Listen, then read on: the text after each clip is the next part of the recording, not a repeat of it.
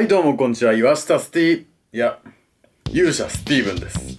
今回はね僕がついに勇者になったということで豆魚雷楽天ホビーハイラル支店から届きましたよ。5440円で代引きで。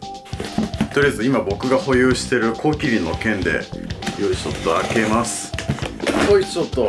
丁寧にね紙で梱包されてますね。もしかしたら直接入ってんのかな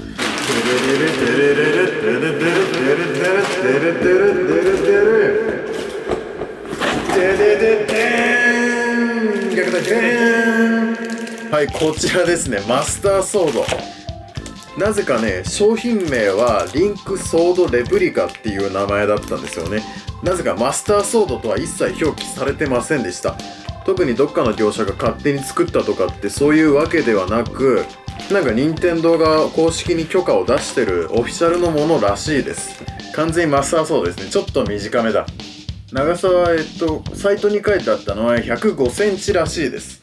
ちなみに剥がしたパッケージがはい何回も任天堂なんかここに任天堂公式だよみたいなライセンスのマークついてますね。であなんかこの形ハイリアの盾みたいだね。ハイリアの盾も一応頼んだは頼んだんですけどどっかでたどこで頼んだか忘れたんですけどそっちの方はまだ入荷してないみたいで後日届くらしいんでそっちの方もまた届いたら紹介します。よしじゃあちょっと早速抜いてみよう。よっ。うわ買った。おおなんだこれ。うわ長い長い瓶に入ってた。おおマスターソードだねちゃんと。こっちの鞘の方もめちゃくちゃ軽くてね音を聞いてわかるかな。これプラスチック製ですね。踏んだらすぐ壊れちゃいそうです。まあ値段もねそんなにそんなにべらぼうに高いってわけでもなくまあどっちかっていうと安めちょっと安めの値段だったんでそこまで期待はしてなかったんですけど思ったより長さがありますね。結構刃が分厚いね。地味にいいのがねほらここ。ここ根元から付け根に来るまで微妙にねグラデーション塗装されててなんとなく金属っぽくなってるんですよね。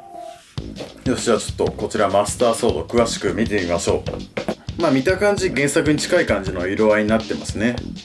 ちょっと海外製ってこともありまあ塗装が若干ところどころ削れてたり多少のムラがあったりああとあとここここ。ななんかねもうすでに微妙に穴が開いちゃってる。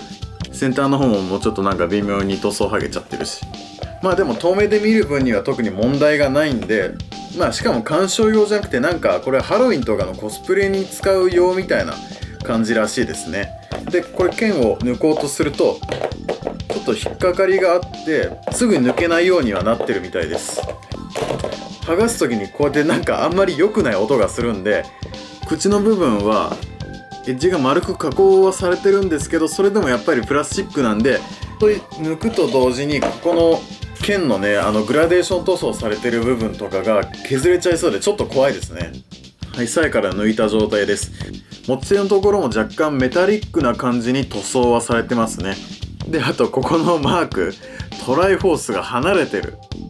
でもねマスターソード特有のこのなななんていうの？このヒュンってなった羽みたいなデザイン。これはね分厚いながらもがっちりね再現されててかっこいいですねやっぱり。